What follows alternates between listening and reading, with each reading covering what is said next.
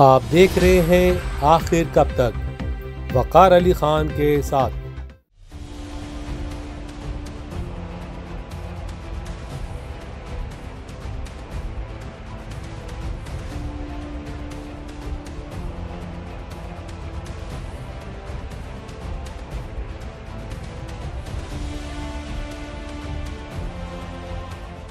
बिसमीम अल्लाम नाजीन आपका मेज़बान Wakeel Khan O P T V global के प्रोग्राम आखिर कब तक के साथ हाजिर खिदमत है?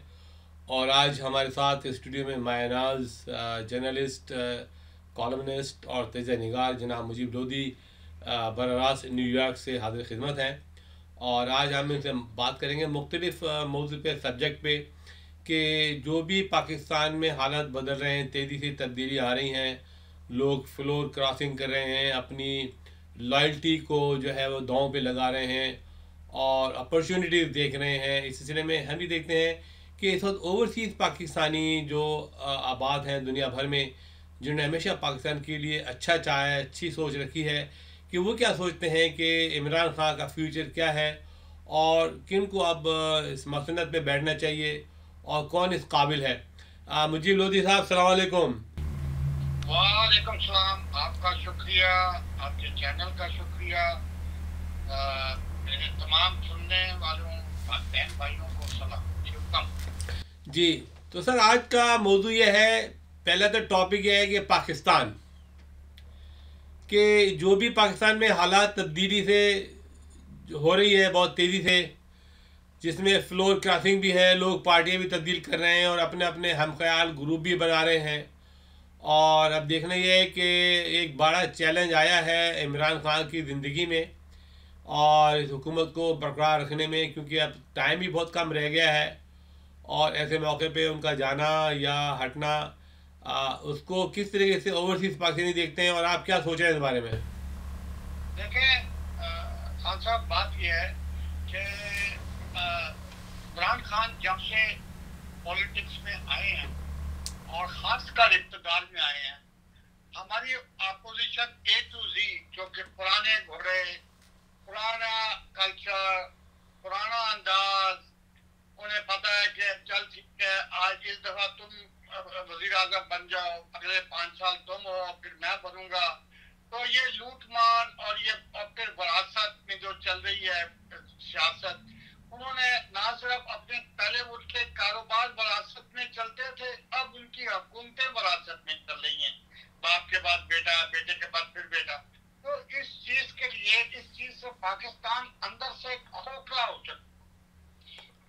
कर्जे ले लेके मुल्क चला चला रहे थे तो अब ज़्यादा कर्जे जब आप लेते हैं तो उसको उतारते भी हो अगर आप उसको बिल्कुल। ना उतारे बिल्कुल। तो आपका जो डेफिसिट है और जो जो दुनिया में आपका एक अहमियत है जो रेपुटेशन कहते हैं उसको वो आपकी जो है ना वो खराब होती है। इमरान खान ने मैं कोई किसी की हमायत में नहीं कह रहा हूँ मैं एक, एक, एक जज की हैसियत से आपको बता रहा हूँ जो कि हम मीडिया के लोग हैं हमें मैं मेरी अपनी राय यह है कि हमें हक का साथ देना चाहिए जो सही है और जो गलत है वो गलत है।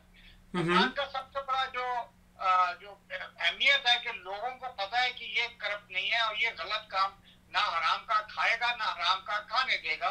तो पहले से ही मैंने कई दफ़ा इमरान साहब के साथ बैठ की जब गुफ्तु हुई थी तो उनसे ये कहा था कि आपको ये लॉबी बसने नहीं देगी चलने नहीं देगी क्रिकेट एक एक दूसरी चीज़ है लेकिन एक एक खास डिपार्टमेंट है खेल।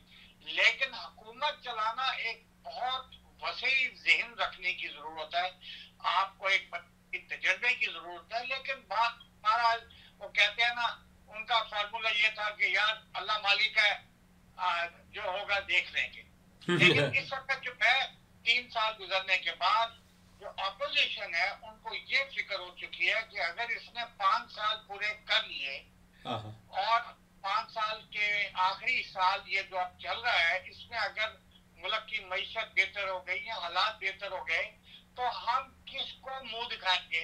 या हमने तीस तीस पच्चीस पच्चीस साल पंद्रह पंद्रह साल हुकूमत किया हम पे दामाद है करप्शन के खाने पीने के। अब हम इमरान के ऊपर कोई इल्ज़ाम नहीं है तो आप क्या करें? तो उन्होंने ये कहा कि अब इसका बेहतरीन हल ये है कि इसको चलने ना दो और इसको वक्त से पहले ही ले दे के फारिग करो। तो इस वक्त पाकिस्तान में एक बहुत बड़ी मंडी लगी हुई है। खान साहब इतनी बड़ी मंडी है कि आप सोच नहीं सकते कि पहले लाखों में बात होती थी आप करोड़ नहीं करोड़ों में बात होती है। अच्छा करोड़ों में बात हो रही है फ्लोर क्रॉस करने की। जी सर बंदे एक दूसरे के अच्छा उसमें भी तीन दर्जे हैं। जी। एक तो ये आप ऐलान करके आए आपको इतने पैसे मिलेंगे। आप अगर खामोशी से आए तो इतने पैसे मिलेंगे। और अगर आप वोट नहीं देते और खामोशी से बैठ जाते हैं तो घर में तो उसके भी इतने पैसे हैं। तो ये अच्छा। तीन टेबल पे काम हो रहा है।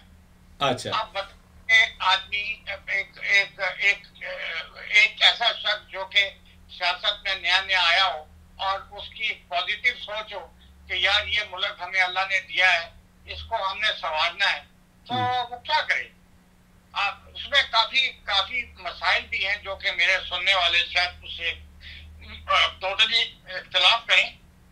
लेकिन बात यह है कि यार हमने तो हम तो यही कहते हैं चाहे कोई भी पार्टी हो कोई भी हो कम अज कम उसको पाँच साल पूरे कर, करने दो। जमहूरियत को एक तरफ़ आप जमहूरियत के नारे लगाते हैं दूसरी तरफ़ आप जमहूरियत के तकाजों को पूरा नहीं करते। तो ये तो बहुत बड़ा तजाद है। बिल्कुल बिल्कुल बिल्कुल बिल्कुल। तो आप ये जो आप देख रहे हैं कि सिचुएशन किस मोड पे आपकी स्पेकुलेशन क्या है? देखें बहुत बात आ जाएगी। देखें मैं मैंने ज़िंदगी में एक ही चीज़ सीखी है और उससे मेरा ईमान बड़ा मज़बूत है। हम्म, बहुत ज़्यादा। हम कलंदरे थे स्कूल कॉलेज फिर यूनिवर्सिटी में और फिर अमेरिका आए जवानी में।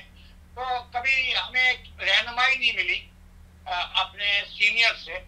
लेकिन खुद से जो हासिल किया वो एक ही चीज़ है कि इस दुनिया में दो कानून चलते हैं। एक वो कानून जो अल्लाह का है जो अल्लाह ने बनाया है उसमें कोई चेंजेस नहीं हो सकती।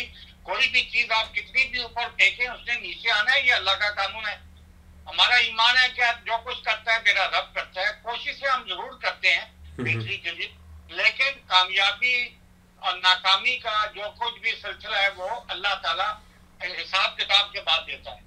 दूसरा कानून है दुनियावी, जो इंसान बनाता है अपनी बेहतरी के लिए। दुनियावी कानून जो बनते हैं, वो इंसानों की बेहतरी के लिए मिलते हैं। रोड बनाना वन वे रोड है टू वे रोड है, इशारे जो, इशारे हैं कि ग्रीन लाइट पे खड़ा, चलना है और रेड पे खड़ा होना है। ये सब दुनियावी कानून है।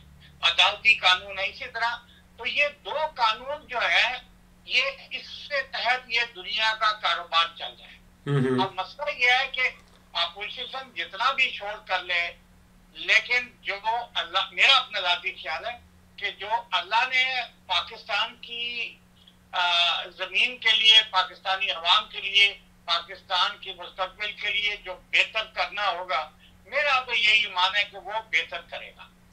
अच्छा आप क्या सोचेंगे जो अदम एतमाद लाना चाह रहे हैं ये? और अभी तक वो फाइनल डेट आ नहीं रही है।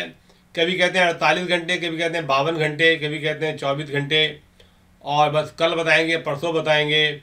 आ, आप क्या सोच रहे हैं कि क्या इनके पास वाकई नंबर पूरे हैं या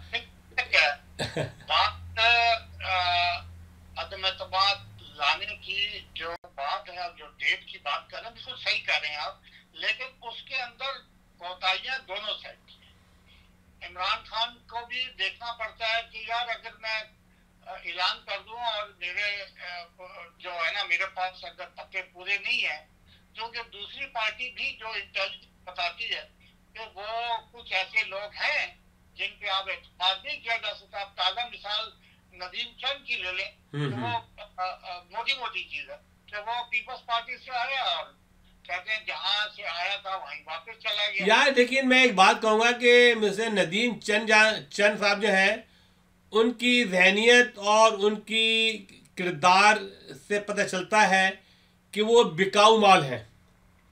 ठीक है। दो किस्म के लीडर होते हैं वकार खान साहब। हम हम कॉलेज और यूनिवर्सिटी की सियासत करते करते यहाँ तक पहुँचे। तो हम्म। हमारा तजुर्बा यह है कि दो किस्म के लोग होते हैं लीडरान में। एक डाई हार्ड होते हैं वो हालात को नहीं देखते वो पार्टी के साथ जुड़े रहते हैं अच्छे वक्तों में भी और बुरे वक्तों में जी अच्छा बिल्कुल। एक मफाद परस्त लीडर होते हैं जिस तरह के आप देखें यूनिवर्सिटी और कॉलेजों में आप आज पाकिस्तान की पॉलिटिक्स में जो हुक्मरान और अपोजिट दोनों तबके में सबसे ज़्यादा जो लीडरान है रहनुमा हैं वो अंडर अम्ब्रेला जमीयत की अम्ब्रेला के नीचे ट्रेनिंग लेने के बाहर आए हैं।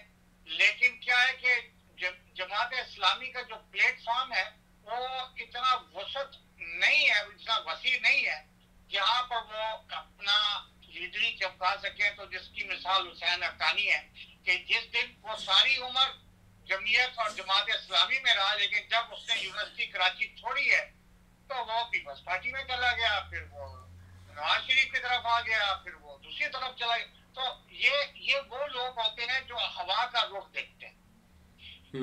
जिस तरह तीन चंद की बात की। देखें देखिए नदीम चंद साहब ने डेफिनेटली वो आए थे अपने मफाद के लिए कि उनको वजारत मिलेगी या कोई कोई मिनिस्ट्री मिलेगी या ये कोई मिलेगा। आप देखना ये है कि वो कोई डाई हार्ट पीटीआई तो नहीं थे। पीटीआई को लाने वाले पीटीआई को बनाने वाले तो नहीं थे वो। वो तो पीटीआई की जो चलती वैगन थी उसमें बैठ गया वो।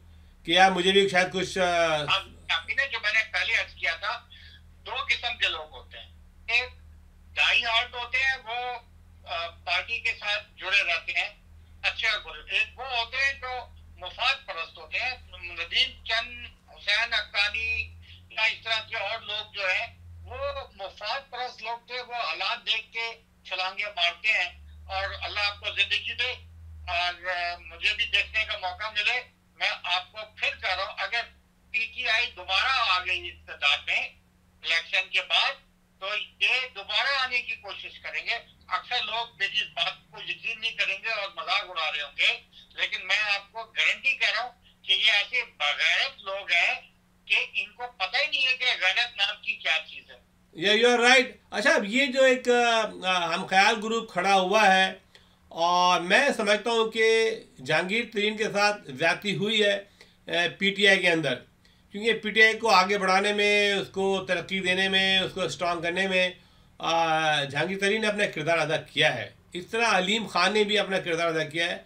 ये वो लोग डाई हार्ट लोग थे जिनको अ, किसी सियासत के ज़रिए इमरान खान से दूर कर दिया गया। तो आप क्या सोच रहे हैं इनके बारे में? खान साहब बचपन से सुनते आ रहे हैं इस भगोल कुछ ना छोड़।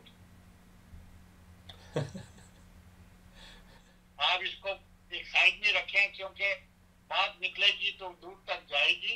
हाँ पब्लिक नज़र में तो आप कह रहे हैं आपकी ये बात तो ठीक है लेकिन आपको इसके आगे का नहीं पता कि तरीन ने आ, एक रात में बिलियंस ऑफ़ रुपए कमा लिए। इमरान ने उसको दूर इसलिए किया कि वो मजीद उसकी हीट ले नहीं सकता था तरीन की लेकिन इसी तरह अलीम अलीम दार जो है वो पंजाब में कोई बहुत अच्छा नाम नहीं है। अच्छा। ये एक लॉन्ग स्टोरी है। देखें मैं आपको एक बात और बता दूँ हम्म, एक प्रिडिक्शन है। जी। और शायद समझने वाले समझेंगे नहीं समझने वाले अल्लाह बेहतर समझे हम्म, ये दोनों एक फेक ग्रुप है। जो कि दिखावे में है कि बीच में रखा हुआ है। ये बड़े स्मार्ट ग्रुप है। और ये इंटेलिजेंसा जो है इंटेलिजेंसा इंटेलिजेंसिया यस यस नहीं कर इंटेलिजेंसा तो वो जो है वो इस तरह के ग्रुप बना के रखता है। ये एक तरह से मकना चीज़ नहीं होता कि वो आप बीच में रखें तो कुछ वो दाएँ से भी कुछ चीज़ें चिपकनी शुरू होती हैं और बाएँ से भी चिपकनी होती हैं। तो अच्छा। जिस पे ज़्यादा ज़ोर हो। तो ये एंड ऑफ़ द डे ये है इमरान का ही ग्रुप लेकिन आम लोगों की नज़र में अंदाज़ा नहीं है कि ये बड़ा बहुत बड़ा गेम प्ले करेगा एंड ऑफ़ द डे क्योंकि ये बनाया ही इंटेलिजेंसा ने है। ठीक है। ये किसी ये ना तरीन ने बनाया ना अलीम खान ने बनाया ना किसी ने बनाया। ये आप देखिएगा एंड ऑफ़ द डे ये जाएगा उसी तरफ़ जिस तरफ़ आईएसआई टाइप की है, वो वो जो बोलेंगी ये उस तरफ़ ही जाएगा। उसी तरफ़ जाएँगे क्योंकि उनके थोड़े शेडी बैकग्राउंड भी है और उसको देखते हुए और राइट अच्छा ये जो हमारे जो काफली ग्रुप है जनाब परवेज दिलाई साहब और शुजात चौधरी साहब ये तो बड़े मुखिया है ना पंजाब के और हमेशा ये बहुत इनकी सीटें कितनी है? सात आठ सीटें लेकिन आप ये देखें कि नवाज़ शरीफ के दौर में इन्होंने नवाज़ शरीफ ने और शबाज जब वज़ीर आला था तो इनका दाना पानी नाकाबंदी कर दिया था बंद किया हुआ था इनके अपने गुजरात में। हम्म, हम्म। ये देखें मतलब ऐसा ही है कि आपको अपने इलाके में बंद कर दिया गया। नज़र बंद कर दिया आपको? नाकाबंदी कर दिया हम्म, तो क्या ये लोग भूल जाएँगे वो चीज़ें? या ये बिल्कुल जैसे बोला था जनाब शहबाज शिव ने के पेट फाड़ के जरदारी के मुँह से मैं पैसे निकाल लूँगा। वो तो नारेबाजी है ना उसको तो आप बर्दाश्त कर सकते हैं। लेकिन एक शख्स अगर आपको आपके ही इलाके में प्रैक्टिकली आपका दाना पानी बंद कर दे आप एक बड़े गुजरात में चौधरी बरादरान की बहुत बड़ी फैमिली है बहुत बड़ी। हम्म। से भी बाहर है कि इतनी बड़ी फैमिली है। हम्म। तो उनका दाना उन्होंने फिर नवाज़ शरीफ से मिलने के लिए तिल का ज़ोर लगाया। ना नवाज़ शरीफ उनसे मिलना पसंद करता था ना शहबाज शरीफ। इतने इतनी इतने मतलब का जो सिलसिला था। तो अब यह है कि देखें मेरा जहाँ ख्याल है नवाज़ शरीफ को अल्लाह ने बड़ी इज़्ज़त दी कई दो तीन मौके आए वज़ीर आज़म बने मेरे ख्याल में अब उनको जो अभी तक उनके दिल में वज़ीर आज़म बनने का जो ख्वाब है मेरे ख्याल में अब उसको उनको इजी करना चाहिए अपने रायबंद में जाके हुक्का पानी करें एंजॉय करें लाइफ को शबाज शरीफ को भी बहुत मतलब है कि कई चीज़ों की बीमारियाँ हैं हम्म। उनको चाहिए वो थोड़ा बहुत अपने आप को रिलैक्स करें, क्योंकि वो इतने जज्बाती हो जाते हैं कि वो मीडिया के माइक तक तोड़ देते हैं। वो इतने बड़े इतने बड़े बड़े मतलब है कि जो उनकी एक पहचान है आती है वो। तो ये चीज़ें हैं कि आप नए लोगों को आगे आने दें जरदारी को चाहिए कि वो जो भी बिलाल जैसा भी है अब वो मैदान में है तो उसको वो आगे ला रहे हैं बहुत अच्छी बात है पीछे वो चले गए हैं। तो हमारी जो एक एक एक जो नई जनरेशन है उसको आगे आना चाहिए। इमरान कोई कम उम्र नहीं है मेरे से दो साल बड़ा है। और मैंने इमरान के साथ नौ साल जुड़ के काम किया है शौकत खानम में। मैं उसका प्रोटोकॉल ऑफिसर था। हम्म। बहुत बहुत टाइम गुजारा है। मैं उसको बड़े करीब से जानता हूँ लेकिन जब वो सियासत में आए तो हम दूर हो गए। तो ये क्या गेम है कि पीपल्स पार्टी कह रही है इनको वजारत आला दी जाए पंजाब की और ये ज़ोर है जरदारी साहब का भी और बिलावल भुट्टो साहब का भी। उधर खाकान अब्बासी और शहबाज शरीफ और मरियम और नवाज़ शरीफ साहब ये परेशान है कि ये क्या ड्रामा हो रहा है? खान साहब जब तक ये चीज़ चलती रहेगी ये कभी यूनाइटेड हो ही नहीं सकते लेकिन मैं आज आपको एक बात बोलता हूँ हम्म। अभी जैसा जैसा वक्त करीब आएगा ना आपकी ये जरा नोट कर किसी वक्त हम गुफ्तगु करेंगे। सबसे बड़ा रोल जो अदा करेगा end of the six month और मे बी वन ईयर वो चौधरी निसार पर। You will see okay so तुरुप का पत्ता एक साइड में है कहीं। आप देखिएगा कि चौधरी निसार जो है वो जब निकलेगा तो वो बड़े लोगों को ओपन करेगा और उस वक्त दुनिया देखेगी ये वो ऐसे ही नहीं बैठा हुआ। अच्छा यार मैं अब आप ये आप क्या सोच रहे हैं ये खालिद मकबूल डॉक्टर खालिद मकबूल का रुख क्या होगा? वो क्या सोच रहे हैं? उनके पास तो कोई चॉइस ही नहीं है। खालिद मकबूल का दो दिन पहले या कल का एक बयान है जो कि मुझे बड़ा अफसोस हुआ। हम्म। जैसे भीख मांग रहा होता है। एमक्यूएम हम्म। का ये हाल हो गया है। भाई मेरे साथ तो कराची यूनिवर्सिटी में अल्ताफ भाई जो है हम लोग सारे एक साथ होते थे।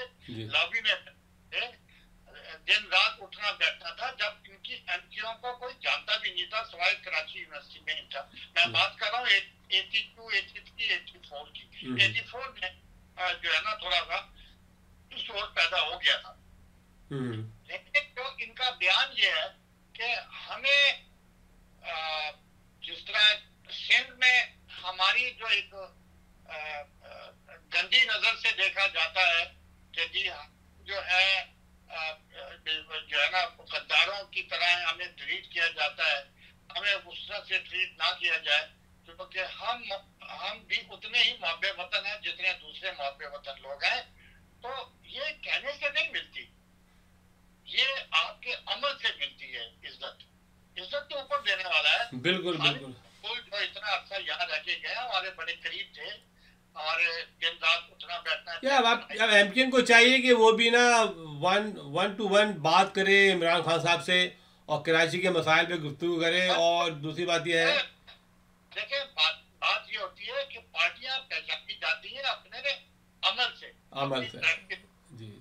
आप जो कुछ भी कह लें जिस तरह भी कह लें पीपल्स पार्टी का एक वोट है सिंध में। है वो है। आप उसको अलग नहीं कर सकते या आँखें नहीं बंद कर सकते। बिल्कुल बिल्कुल। मुस्लिम लीग नवाज़ का एक वोट है पंजाब में लाहौर में और जो भी पंजाब पंजाब के अंदर है वोट उनका बिल्कुल। देखिए उन्होंने काम किया हुआ है। काम किया उन्होंने काम किया काम किया मुस्लिम लीग ने शहबाज ने काम किया हुआ है। उसका क्रेडिट नवाज़ शरीफ को ज़रूर मिलता है क्योंकि वो उनके दरम्यान में एक एहतराम का रिश्ता है लेकिन काम जो किया है अगर लेकिन उसकी जो काम किया उसकी पाकिस्तान आज तक बहुत महँगी कीमत अदा कर रहा है कर्जों की शक्ल में हम्म, हम्म, हम्म। काम तो किया उन्होंने लेकिन उसके ऊपर जो उन्होंने साइड में जो जो माल कमाया है उनके खानदान ने उनके अजीजों ने उनके दोस्तों ने एक एक रोड के ऊपर कई कई करोड़ की मतलब है कि आपने आपके अगर माल कमाया और माल लिए और वो वो माल इस तरह लिया कि आपने एक वोट का ठेका दे दिया और उसका जो आ, उनको जो माल मिला वो उन्होंने कहा जी हमें लंदन में मिलना चाहिए अमेरिका में मिलना चाहिए पैसा तो वो इस तरह से उनको मिला है अब कहने का मकसद ये है कि खान साहब जो है पीटीआई एक जवान अभी तो पैदाइश को हुए उसको तीन साल हुए बिल्कुल अभी तो बहुत ही बच्चा पार्टी है अभी तो लेकिन उन्होंने काम किए उन्होंने काम बड़े यानी कि फाउंडेशन फाउंडेशन वाले काम किए हैं और मुल्क ने तरक्की की है और मुल्क का वकार बढ़ा है, उनकी वजह से ऐसी बात नहीं है। इमरान खान की तंजीम ने काम किया है, ठीक है, वो नए हैं इन एक्सपीरियंस है अभी तो उनकी पार्टी को तीन साल साढ़े तीन साल हुए एक बच्चा पार्टी है अभी नौजवान भी नहीं है कि नौजवान की जो उम्र आती है वो चौदह साल में आती है चले हम उसको सियासत में कह लें कि चलो उन्होंने पाँच साल तो गुजार दिए अब वो पाँच साल गुजारने उसके लिए महँगे पड़े क्योंकि एक तो इमरान को जो हुकूमत मिली तो उनको दो चीज़ें अचानक सर पे गिरी हैं एक तो कोरोना वायरस कोविड नाइन्टीन या कोरोना वायरस दूसरा महँगाई महँगाई। तीसरी अब ये ऑयल आ गई। रशिया यूक्रेन की जंग के बाद। यूक्रेन जंग की बार आ गया के ऊपर नीचे कितनी पूरी अमेरिका में हम लोग रहते हैं आप देखें प्राइस कहाँ चली गई है। बहुत हर चीज़ महँगी खाना पीना गैस। छह डॉलर गैस तो हमारे यहाँ हो गया है सिक्स डॉलर हमारे अभी भी साढ़े चार सवा चार के करीब है अच्छा ये बता यार ये इस बारे में जनाब बाजा साहब कहाँ खड़े हैं? हमारी जो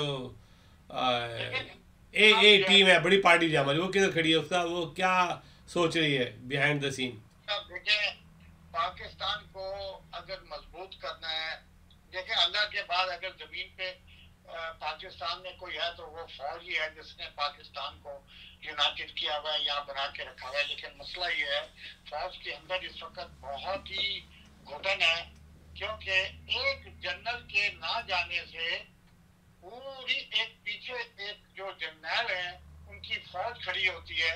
वो इंतज़ार में कि हमें, हम अपग्रेड होंगे, हमारे ओहदे बढ़ेंगे, क्योंकि उन्होंने भी दो, चार, पाँच सालों में रिटायर होना होता है। तो वो सारी उम्र के लिए जो पेंशन होती है, उनका दारोमदार उनकी उस वक्त की पोस्ट के ऊपर होता है कि वो उनको सारी उम्र पेंशन क्या मिलेगी? एक फौजी जर्नैल की ज़िंदगी में सबसे बड़ी जो अहम जो टर्न पॉइंट होता है कि वो रिटायरमेंट के वक्त वो किस ओहदे पर था? जी तो अभी तो जर्नैल साहब रिटायर्ड नहीं हो रहे हैं। इससे फौज के अंदर बहुत घुटन है। और अल्लाह ताला घुटन से पाकिस्तान को जी मैं समझता हूँ कि फौज चाहेगी कि इमरान खान पाँच साल पूरे करे। वो नहीं चाहते कि ये हुकूमत पहले ही फारिग हो जाए और एक वैक्यूम पैदा हो जाए। मैं नहीं समझता कि इस्टेब्लिशमेंट ये चाहेगी कि अदम अतमाद आए और वो पास हो। मैं समझता हूँ कि पाँच साल गुजारने के बाद इलेक्शन में खुला इलेक्शन होगा, जो भी जीते, भाई आए, ऐसी बात नहीं। है दूसरी बात ये सवाल ही मैं करूँगा आपसे कि मास्को का ट्रिप इमरान खान साहब का, ठीक है? हमारा पड़ोसी है वो और आपको ये मालूम होना चाहिए कि पाकिस्तान ने ही मेन किरदार अदा किया था रशिया को शिकस्त देने में अफ़गानिस्तान के अंदर। हम्म। मैं आपसे एक सवाल करता हूँ। आप ये बताएँ रशिया अफ़गानिस्तान क्यों आया था? उसका उसका टारगेट क्या था? उसका टारगेट था हार्ड वाटर्स अब अगर अगर वो इजी तरीके से वही टारगेट इमरान खान उसको रास्ता दे रहा है कि भाई तुम अपनी गैस की पाइपलाइन जो है, तुम हार्ड वाटर तक मैं तुम्हें जगह दे रहा हूँ। तुम आओ। तो आप ये सोचे, अगर वो पाइपलाइन पाकिस्तान में आती है और ग्वादर तक पहुँचती है तो हमें मिडिल ईस्ट के सऊदी अरब अमरात की तरफ़ मुँह देखने की ज़रूरत नहीं है। आपके पास अपना ये इसी तरह ही है जिस तरह आपके मुल्क में कुआ, तेल के कुएँ निकल आए हैं। और यार, मुझे तो बड़ा ताजुब हो रहा है वक्त Russia is one of the largest gas and oil supplier in the world and thirty percent food supply to the Europe you know Ukraine और रशिया की जंग से जो जो अमेरिका यूरोपियन पाबंदियाँ लगा रहे हैं, लगा तो रहे हैं पाबंदियाँ, लेकिन आप ये देखें कि पिछले दस दिनों में इनका अपना सत्यानाश हो गया है मतलब ऑयल की प्राइस कहाँ चली गई है? हर तरफ़ महँगाई का समय है। तो ये मैं हैरान हूँ कि इतनी समझदार जो ये दोनों कंट्रियाँ हैं यूरोप और अमेरिका वो अगर ना ही कूद रहे हैं जंग में और ना ही जो है वो अपने अवाम को, अपनी अपनी अवाम को जवाब दे है कि वो किस क्या एक्सक्यूज पैदा करें, उसके लिए वो बहाना कर रहे हैं कि जी हमने भारत को लगा दिया। हमने उनके ऊपर पाबंदियाँ लगा दी पाबंदियाँ लगाने से रशिया को तो वो तो ऑलरेडी इन वॉर में है आपको जो नुकसान हो रहा है उसका आप सोचें मैं समझता हूँ कि इमरान खान का ट्रिप जो है वो पहले से डिज़ाइन था पहले से प्रिपेयर था मैं समझता हूँ कि उसने सही किया कि उसने ये ट्रिप लगाया बल्कि दूसरे लोग भी मिल रहे हैं उससे जाके फ्रांस भी बात कर रहा है जापान भी बात कर रहा है और इसराइल भी बात कर रहा है फ्लाई करके गया और उस वक्त वहाँ पर जंग शुरू नहीं हुई थी। उस वक्त जंग शुरू होने वाली थी ऑलमोस्ट लेकिन मसला क्या है कि एक पहले से प्लान था जाने का। और इमरान ने दूर अंदेशी की है कुछ चीज़ें ऐसी होती है देखें एक दवाई होती है जो आप आ, खाते हैं और सर में दर्द है तो फ़ौरन ठीक हो जाते हैं बड़ी स्ट्रांग होती है। और एक होती है कि अगर आपके सर में दर्द है और आप खाते हैं तो थोड़ा सा टाइम लगता है लेकिन वो दूर उसके नतज होते हैं। जी हाँ। अब जो इमरान का जो ट्रिप था उसमें यही है कि आप अगर थोड़ा सा अगर मैप में देखें तो रशिया के पास जितनी रकबा है ज़मीन का वो दुनिया का सबसे बड़ा मुल्क है। आप यकीन करें कि अगर आप थोड़ा सा तवज्जो से देखें तो ना खत्म होने वाला रकबा है उसका। चाहे उसमें जो है ना प्लीज़ माउंटेन है, लेकिन रकबे के लिहाज से देखें तो कितना बड़ा है। उनके पास दुनिया की सारी मादनियात है और पाकिस्तान को इस वक्त अमेरिका जो है, उसके ऊपर तहफात है। वो हमारी, हमारे मुकाबले में हमारे दुश्मन के बहुत ज़्यादा करीब है।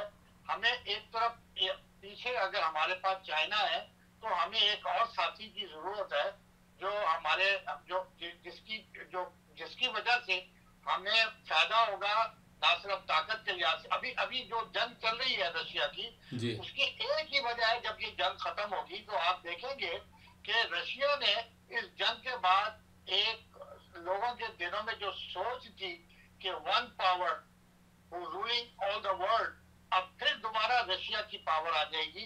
ये एक नहीं दो पावर है इस वक्त दुनिया में क्योंकि लोगों ने देख लिया कि अमेरिका जो है वो सिर्फ़ बात करता है भौंकता है काटता नहीं है।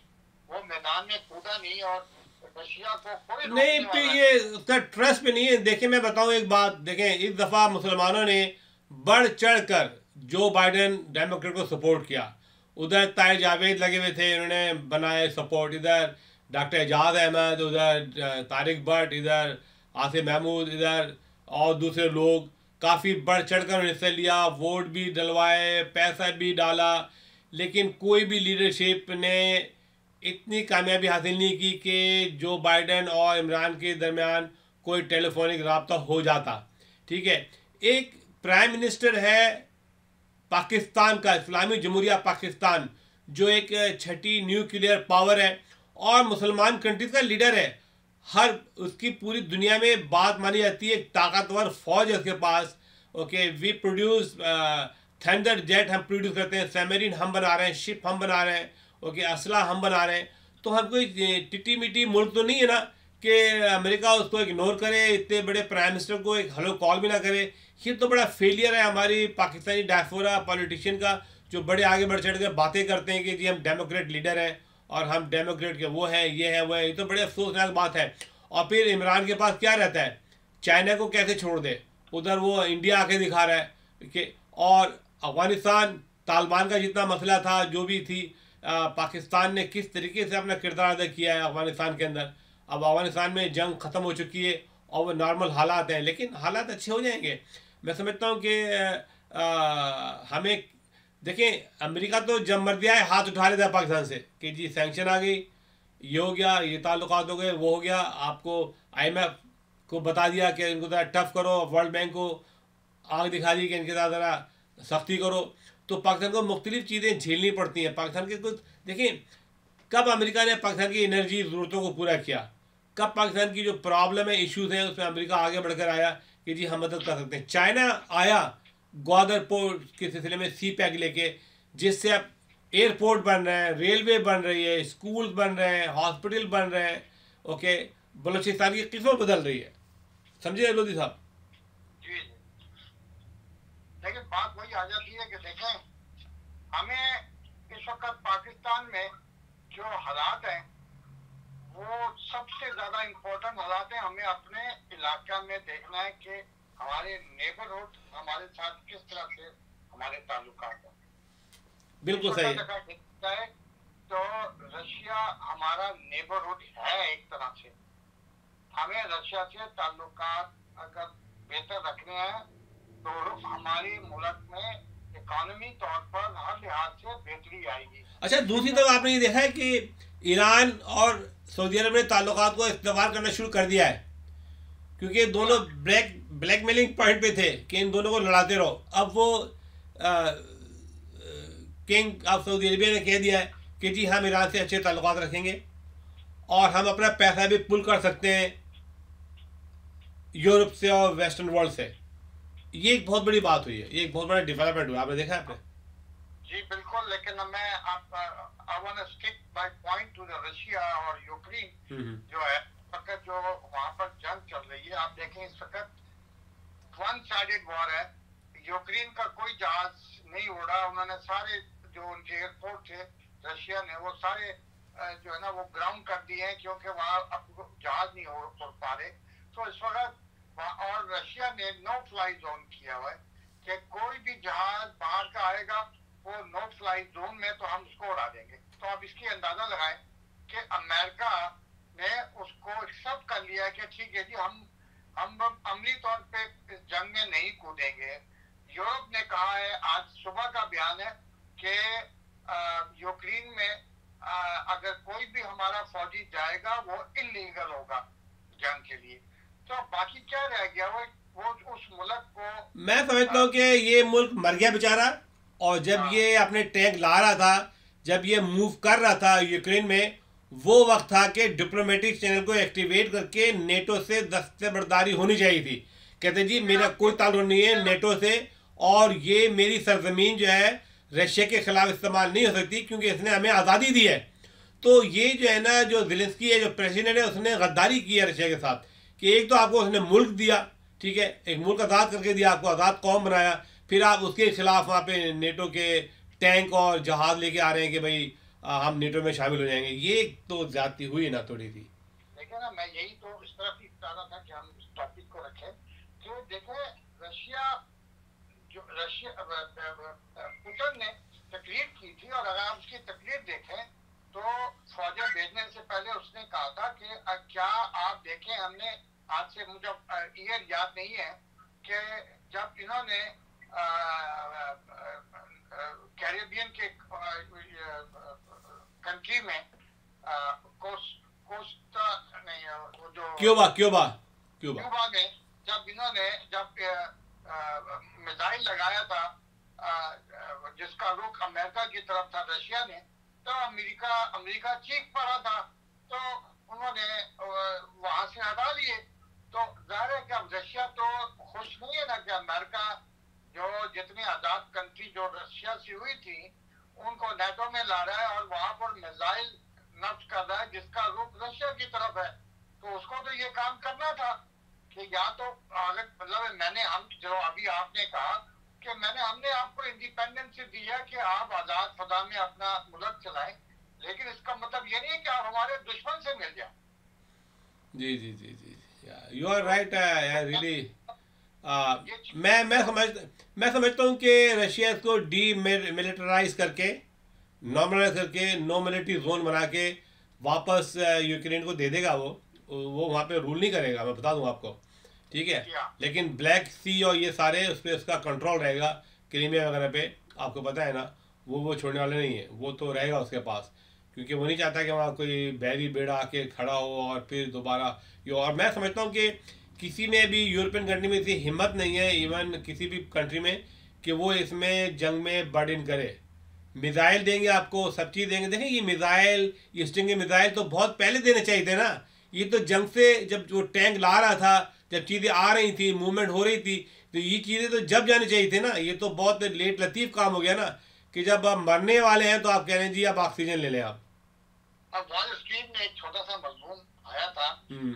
आपकी नज़र से नहीं गुजरा उसके अंदर एक तजिया निगार है जिस तरह हमारे इकराम सेगल है जो कि दिफाई तजिया निगार है उसने बात बोली थी इसमें कि अमेरिका ने जो इंतज़ार किया जो आपका जो सवाल का जवाब दे रहा हूँ वो इसलिए कि वो देखना चाह रहा था कि रशिया के पास कौन कौन से एम्यूनिशन है ताकि हम देखें और उसका उसके लिए तोड़ कर सके। लेकिन बदकिस्मती ये है इन लोगों की कि रशिया अपने जो भी सेंसिटिव एम्यूनिशन है वो अभी तक लेके नहीं आया। Yes. आपको अंदाज़ा नहीं है कि उसके पास ऐसे ऐसे मिसाइल हैं कि एक शहर पे सिर्फ़ मारे तो पूरा शहर तबाह हो जाए तो सिर्फ़ ये नहीं है कि एटमी वार हुआ है। एक एक मिसाइल इतने पृथ्वी है और बड़ी सेंसिटिव चीज़ें हैं उसके पास। अभी तो उसने मैदान में वो अपनी वो चीज़ें लेके ही नहीं आया जिसका ये इंतज़ार कर रहे थे। और उसने सिर्फ़ अपने जो रेगुलर फौज है या एयर फोर्स है, वो भी एक लिमिटेड हद तक इस्तेमाल किया है। सिर्फ़ अपनी मैदानी फौज को टैंकों को और इस तरह की जो मकतबन गाड़ियाँ हैं जो मैदान में है वो इस्तेमाल की इन लोगों का ख्याल था कि वो बड़ी तूफानी तौर पे आएगा और उससे उसकी उसकी वो हाइडिंग चीज़ें जो फाश उनके राज फाश होंगे लेकिन वो ऐसा अभी तक हुआ नहीं। है और दूसरी चीज़ ये है कि चाइना जो है, वो बड़ी खामोशी से हालात देख रहा है, क्योंकि आपको पता नहीं, याद है कि नहीं, रशिया और चाइना के जो प्राइम मिनिस्टर हैं इन्होंने सदर और प्राइम मिनिस्टर जो है, जो दोनों सदर हैं, इन्होंने जंग से पहले एक तवील मुलाकात की थी तो इनकी आपस में बड़ी गहरी अंडरस्टैंडिंग है। यूरोप और अमेरिका इस बात पे भी बड़े समले में है कि ऐसा ना हो कि अगर हम कूदेंगे तो चीन कहाँ से आएगा? तो उस लिहाज अच्छा दूसरी बात ये आपकी बात काट रहा हूँ। देखें अब यूरोपियन यूनियन जो है वो कह रही है पाकिस्तान से जी आप स्टेटमेंट दें और ये करें वो करें। भाई आप भारत से क्यों नहीं कह रहे? भारत को बोले ना भारत को बोले ना भाई। इमरान ने यही कहा है ना कि जब भारत ने कश्मीर पे जब इस तरह का जो रवैया अख्तियार किया वहाँ जुल्म और तशद हो रहा है वहाँ तो आपकी आवाज़ बुलंद नहीं होती। तो आप हमसे क्या कह रहे हमें क्यों डिक्टेशन दे रहे हैं? हमें पता है क्या करना है। तो आई थिंक ये पॉलिसी ठीक है।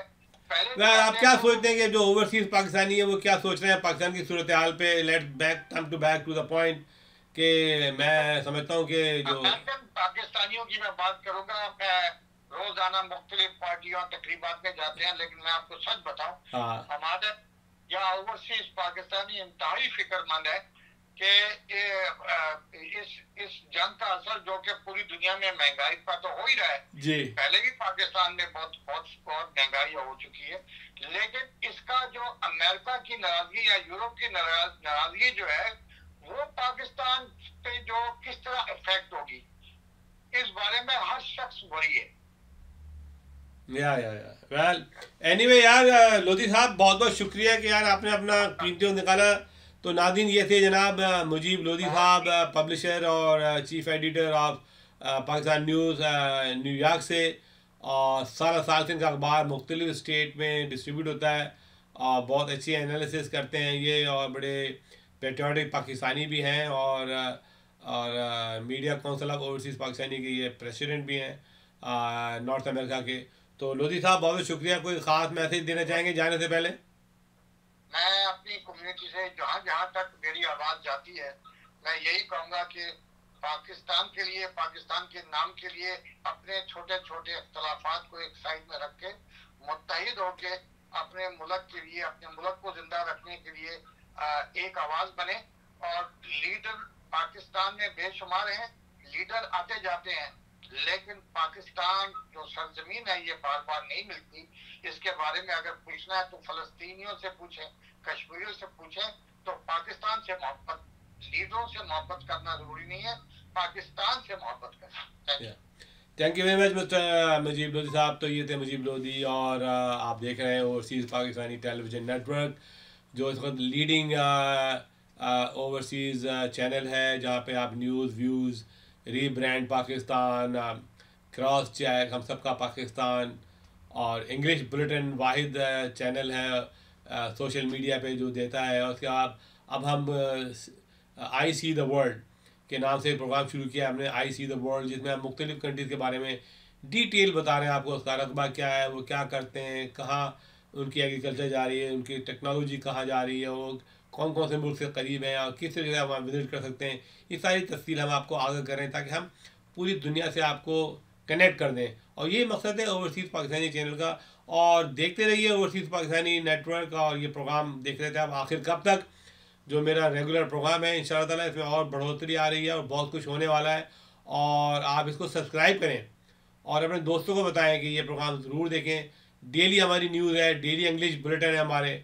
और बहुत कुछ प्रोग्राम है राग स्टार है और बहुत ही चीज़ें आने वाली हैं रमज़ान आ रहा है उसकी पेशगी आपको मुबारकबाद देता हूँ और इसके साथ ही आपको मेज़बान वकील ख़ान आपसे यह चाहेगा अल्लाह हाफिज़ Pakistan पाइंदाबाद Equal justice under law.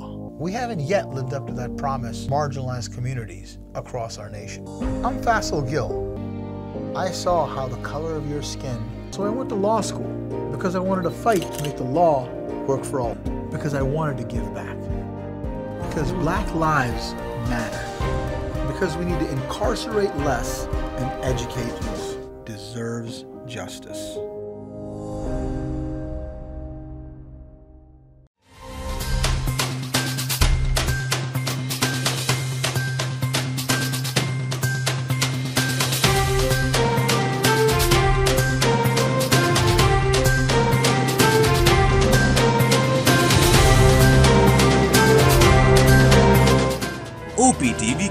फखरिया पेशकश।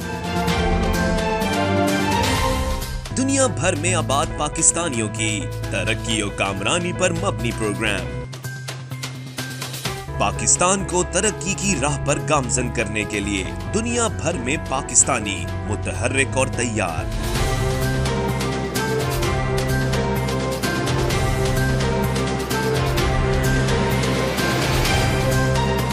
दुनिया भर के मुल्कों में पाकिस्तानी का उनकी तरक्की में हिस्सा देखिए।